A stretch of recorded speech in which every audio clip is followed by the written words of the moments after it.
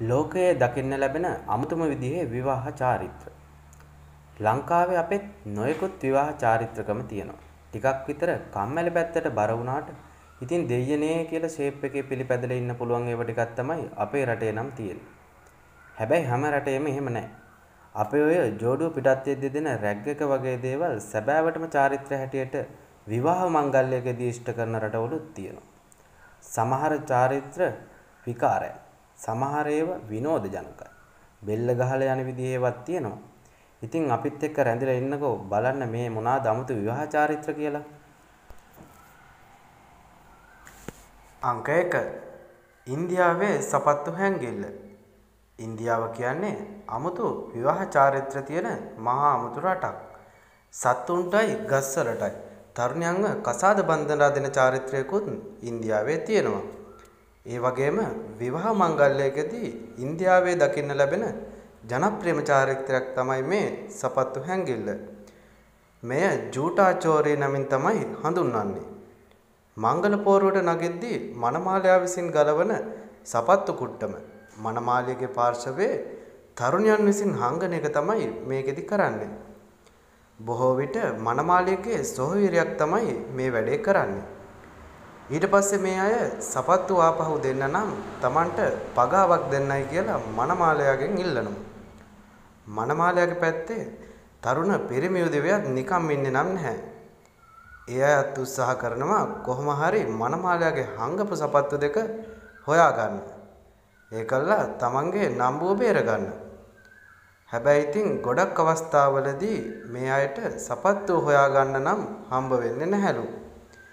එහෙම වෙලාවට මනමාලයා සපත්තුව ගන්න මනමාලියගේ සොහොයුරන්ට පගාවක් දුන්නාම ඒ අය හංගපු සපත්තු අරන් ඇවිත් මනමාලයාගේ පාදයේ පලන්දවනවලු. අංක 2 පිස්පෝච්චියේ ආහාර සංග්‍රහය. ලීපොඩ්ඩි චැම්බර් නමින් තමයි මේ ප්‍රංශ විවාහ චාරිත්‍රය හැඳින්වෙන්නේ.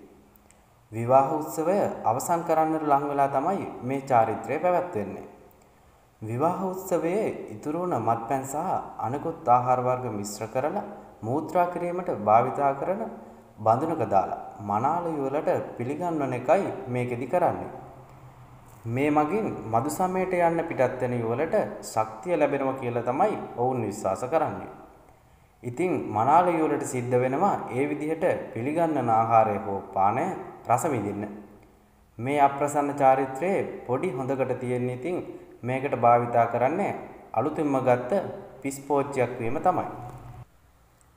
අංක 3 නවයුවලට වැක්සකිලි යෑම තහනම් වන මැලේසියානු ගෝත්‍රය. මැලේසියාවේ ටීඩොන් කියන ජන කොට්ටාසය අතර තමයි මේ විකාර චාරිත්‍රය දකින්න ලැබෙන්නේ. මේක එක්තරා ආකාරයක සෞඛ්‍ය අවදානමක් කියලත් කියන්න පුළුවන්. ටීඩොන් ඉවලක් විවාහ වුණාම ඒ අයට දවස් 3ක් යනකම් ගෙදරින් එළියට බහින්න තහනමක් පැමිණෙනවා. ඒ විතරක් නම් මද දවස් 3ක් යනකම් මුත්‍රා හෝ මල පහ කරන්න වැසිකිලි පාවිච්චි කරන්නත් තහනම්. නවයුවලගේ වැඩහිටියෝ මේ අයවට ගැවසෙමින් මේ දෙන්න වැසිකිලි නීතිය කඩනවද කියලා විමසුම් මැස යොමාගෙනලු ඉන්නේ. ටීඩොන් ජනතාව විශ්වාස කරන්නේ මෙහෙම මල මුත්‍ර බර දවස් ගාණක් ඉවසගෙන ඉඳීමෙන් දෙන්න අතර බැඳීම ශක්තිමත් වෙනවා කියලාලු. අංක 4 මසායි ගෝත්‍රිකයන්ගේ කෙල ගැහිල්ල. ලංකාවේ අය නම් තව කෙනෙක්ට කෙල ගහන්නේ තමන්ගේ අප්‍රසාදය පෙන්වන්නයි. ඒ වුණත් අප්‍රිකානු ගෝත්‍රික කණ්ඩායමක් වන මසායි ගෝත්‍රිකයන් ඒකේ අනිත් පැත්ත. ඒ අය කෙල ගැහිීමෙන් කරන්නේ සුබ පතන සහ ආශිර්වාද කරන එකලු.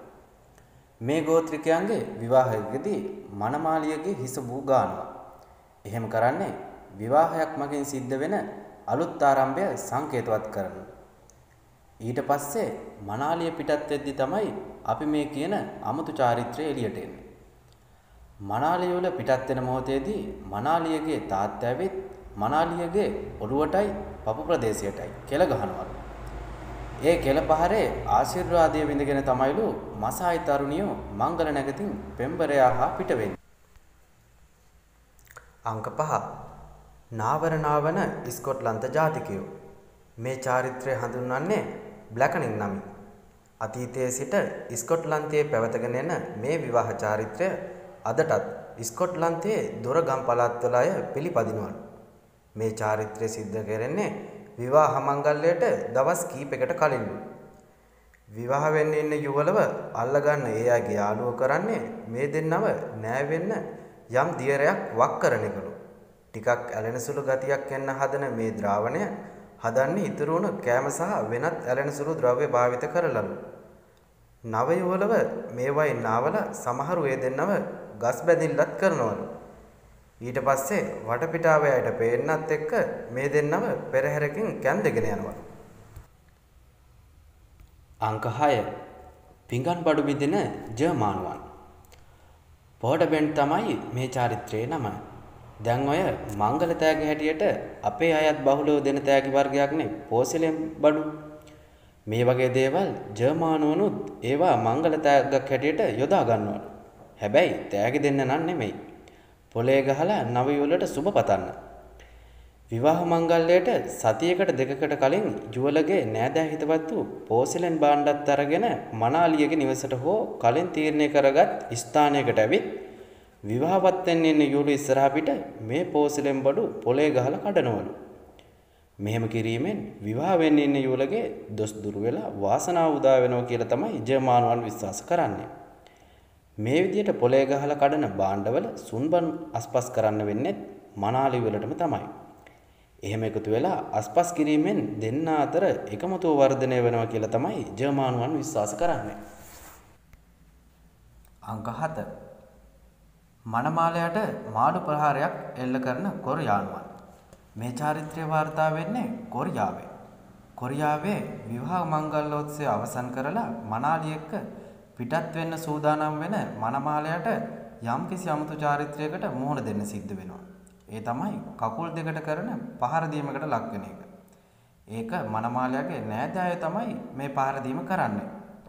මනමාලයාගේ සපත්තු මේස් ගලවලා කකුල් ගැට ගහලා කෝටුවකින් හරි වියලපු මාළුවෙකින් හරි මනාලයාගේ යඩපතුල් වලට පහර දෙන එක තමයි මේ චාරිත්‍රය.